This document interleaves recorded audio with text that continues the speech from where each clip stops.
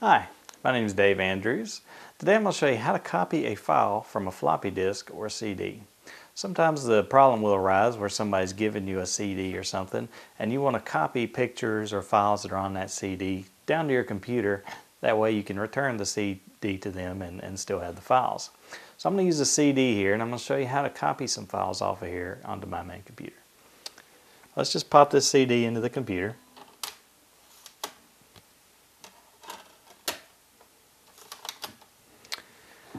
And now let's go to our computer. Once that CD is inside, let's open up my computer by clicking on the start button and then clicking on computer.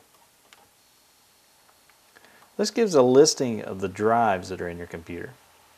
And also, uh, sometimes when you pop a CD into a computer, you'll get a little uh, pop-up that says autoplay.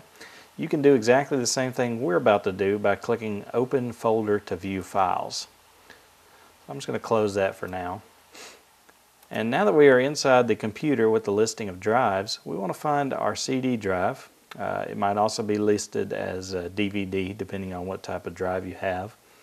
I'm going to right click on that. I'm going to click on Explore.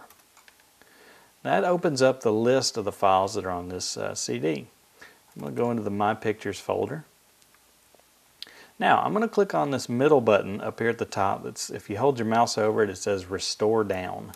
That makes this window a little smaller and I can grab the little uh, bottom of it and I can make this window quite a bit smaller where I can see my desktop. I'm going to move that over.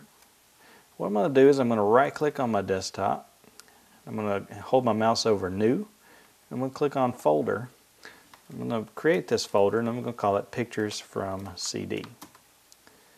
Now I can just drag the pictures that I want now Let's say uh, here's a couple pictures of a cat and I want those. Let's just grab these, uh, click on them, hold the mouse down, and do what's called a drag, where we move them on top of this folder, let go of the mouse.